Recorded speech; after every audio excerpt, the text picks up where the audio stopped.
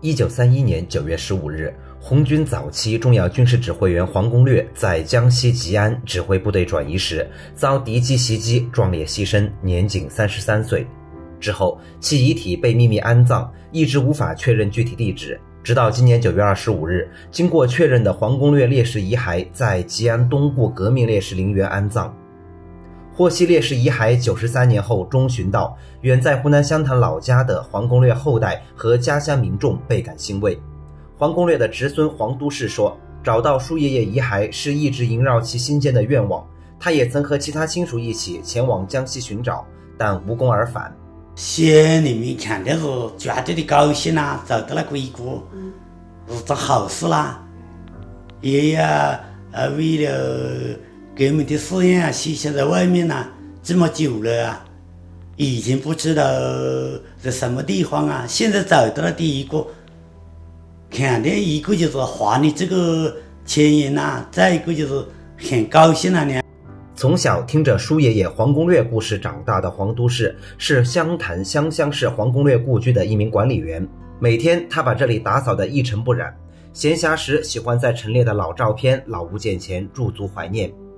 黄都师告诉记者，黄公略故居是一栋典型的土木结构乡中民宅，除部分房间做原状陈列外，正房三间被辟为展示，陈列黄公略生平史料和历史文物，回放黄公略壮怀激烈的一生。黄公略一八九八年出生于湘乡一个农民家庭，是平江起义的领导者之一，因其骁勇善战，屡建奇功，被赞誉为飞将军。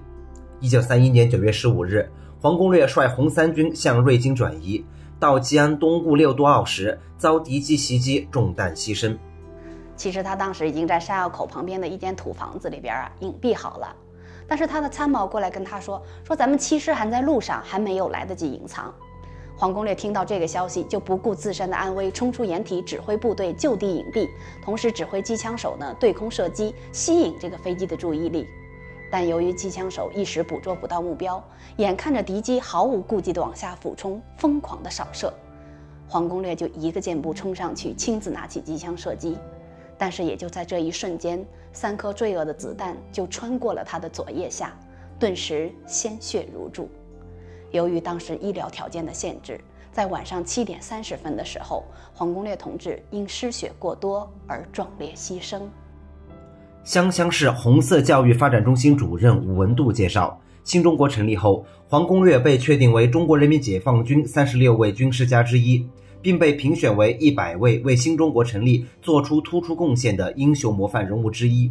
二十世纪六十年代，党和政府以及军队有关单位曾组织力量寻找黄公略烈士遗骸，但未能找到墓址。可能当时黄公略将军牺牲的时候埋的比较仓促。第二个就是地势党员把他。啊，隐蔽、隐藏了或者转移了，也有一种说法，当时因为牺牲的战士比较多，墓地比较多，也分不清哪一个是黄公略将军的。今年我们黄公略将军，哦，你的遗遗骸已经找到，要安葬在江西啊。我们乡亲人对他也是非常敬重，打算呢有机会要到东固去看一看我们黄公略将军。